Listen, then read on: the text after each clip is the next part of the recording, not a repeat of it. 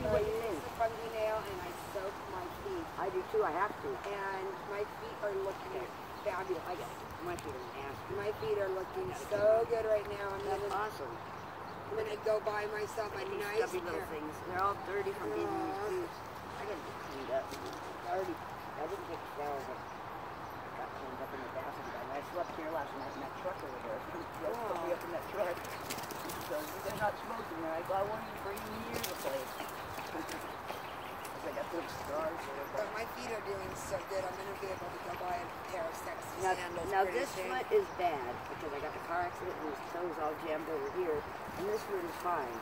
So this foot is not bad. It's not that. But it's not because of the accident. You know, it messed up my, my my foot jammed into the you know the firewall where your, your gas and brake are, and I got my body all twisted. Uh, and I'm a wreck. I'm finally getting feeling myself. I don't go to the doctor. I don't either.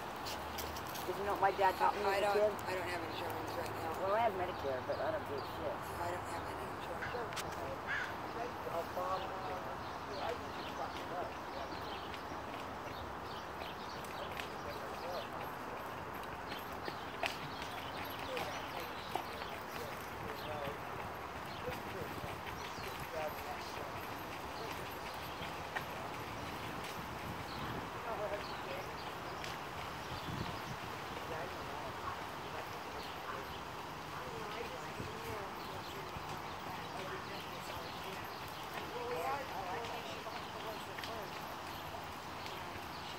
presidente.